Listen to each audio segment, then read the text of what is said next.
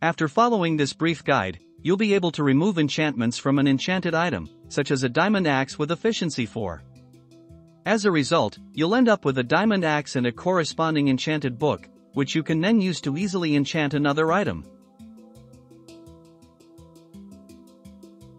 To carry out this task, we'll need at least the following items a disenchanter, a combustion generator with some fuel, a fluid storage tank containing at least 100 liquid experience, which we'll obtain using an experience bucket.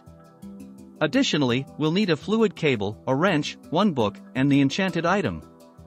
Let's start by setting up the essential disenchanter, which requires power supplied by the combustion generator.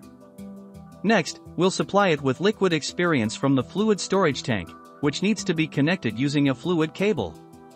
The fluid cable must be configured with the wrench to ensure the liquid flows in the correct direction.